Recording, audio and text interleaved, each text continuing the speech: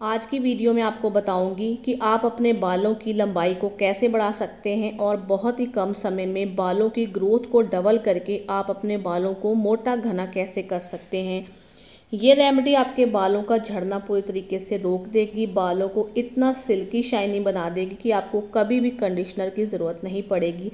अगर आप इस रेमेडी का इस्तेमाल करते हैं तो चलिए शुरू करते हैं आज की वीडियो। शुरू करने से पहले प्लीज़ हमारे चैनल को सब्सक्राइब कीजिए। मिक्सी के जार में दो से तीन चम्मच आप दही डाल दें, फ्रेश ले लें दही और एक मुट्ठी भर के करी लीव्स इसमें ऐड कर दें, अच्छे से धो धा के करी लीव्स को साफ़ कर लें। आप चाहें तो इसमें दो से तीन टुकड़े केले के काट कर भी डाल सकते हैं। पानी वगैरह कुछ ना डालें और इसे पीस के तैयार कर लें। पीसने के बाद आप इसे अलग बोल में निकाल लें।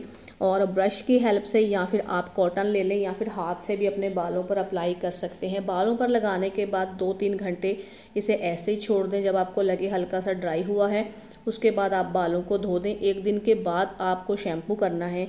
इसका इस्तेमाल करने से कई बार कंगी करते हुए बाल बीच से टूटने लगते हैं या फिर कभी बिस्तर पर सोते हैं तो सुबह उठ कर देखते हैं, बिस्तर पर बहुत ज़्यादा बाल झड़े हुए होते हैं। बाल टूटते हैं, बाल झड़ते हैं या बालों की ग्रोथ नहीं बढ़ रही है, बाल बहुत पतले हो गए हैं।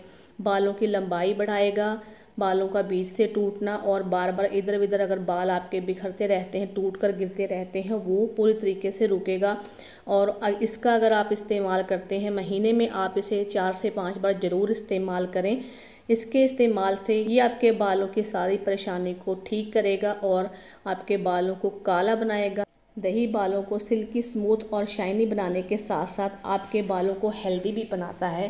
तो इस तरीके से इस रेमेडी का इस्तेमाल करने से आपकी तमाम परेशानियाँ ख़त्म हो जाएँगी और कुछ ही टाइम में आपके बालों की ग्रोथ बहुत जल्दी बढ़ने लग जाएगी। वीडियो को लाइक करें, शेयर करें और चैनल को सब्सक्राइब करना ना भूलें।